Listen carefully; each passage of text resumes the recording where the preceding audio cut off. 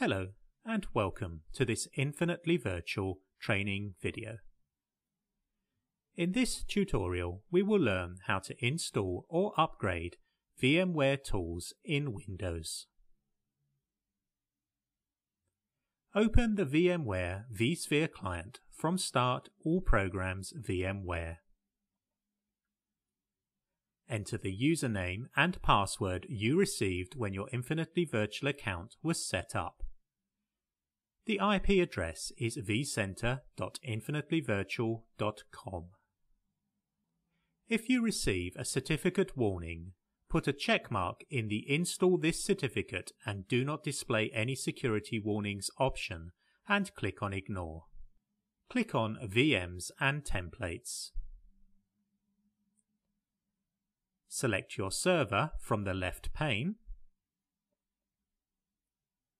click on the Launch Virtual Machine Console icon to access the virtual console of the server. Log into the server with an administrator account.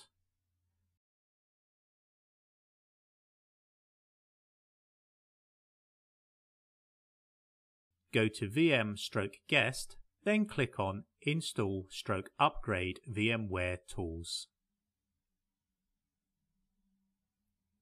Select the Interactive Tools Upgrade option and click on OK. If an older version of VMware's tools is already installed, then the upgrade message will be displayed. Click on OK. Click Next.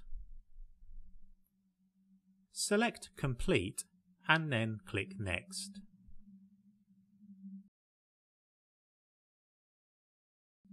Click Install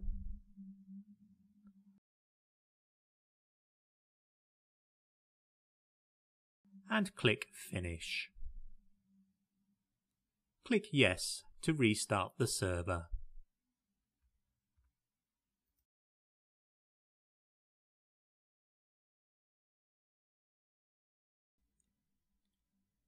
For more information on virtual server hosting, office virtualization, or cloud computing, please visit www.infinitelyvirtual.com.